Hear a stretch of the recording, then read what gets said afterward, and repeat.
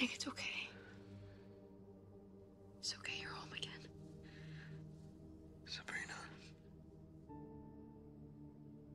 Is it really you?